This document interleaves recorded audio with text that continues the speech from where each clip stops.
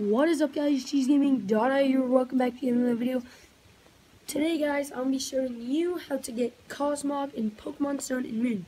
So first things first, you have to have beaten the game and gotten your legendary Pokemon. And um, after you've beaten the game, you come up here to the altar of the sun or moon. For me, it's altar of moon because I have moon. And in sun, the portal opens in the day, I think. And the for moon, the portal opens at night. So, uh, you just click on the portal, interact with it, and we're going to go through the portal right now. So, uh, we are now officially in a, I guess, different dimension. This is now the portal, altar of the sun instead of altar of the moon. And that portal right there is how you get back. But, um, so, I mean, your game doesn't change. You're still playing your game. Um, you still have all your Pokemon and stuff. It's just, I guess it just kind of like main legendary Pokemon, the altars and the lake is changed from sun to moon or moon to sun. And so we're just gonna go fly over to um see like I still have all my stuff. So we're gonna go oh, there we are. Um Ula'ula and you have to go to uh uh Lake of the Moon in this case, if you have moon, normally it's like of the sun, but because I switched dimensions, uh, it's like the moon now. So, um, let's see, you just walk through there, um, or you can fly up to Po Town and just Tauros charge down here, I guess, and um, I'm actually just getting Tauros charged. There's a TM somewhere in here and a Zygarde cell like over here, but I already got them. So let's go ahead and use our Tauros charge.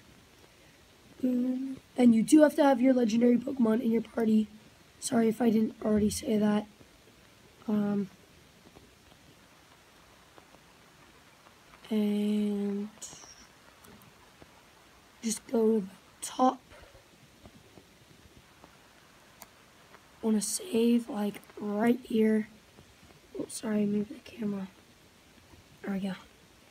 And we're gonna go ahead and save our adventure. And we're gonna um, get off our Tauros here. Just cause why not?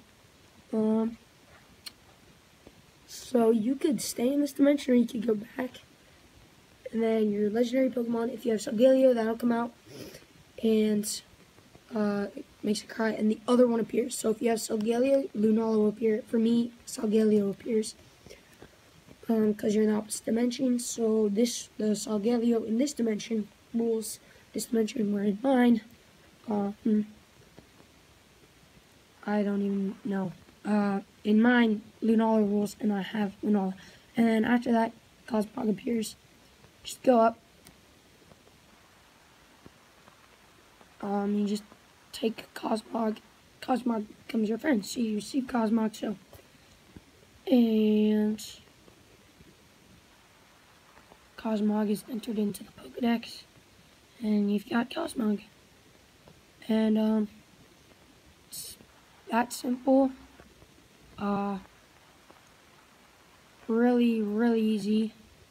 Not gonna give him a nickname. Then also after that, you could also do um. That means you could get the other legendary Pokemon. If you guys don't know how gonna do that, I'll tell you that right now, real quick. And uh, so what you gotta do is just you level up Cosmog to level 43, I think it is, and you get Cosmoem. And then 10 more levels is uh, and then it evolves into your legendary Pokemon, but you have to have in your party. So for me, it evolved into Lunala, and then I can just uh, put Lunala on GTS and get Solgaleo. So, yeah, that is how you guys obtain Cosmog. Hope you guys enjoy. Please leave a like on the video, uh, subscribe for more content like this, and uh, bye.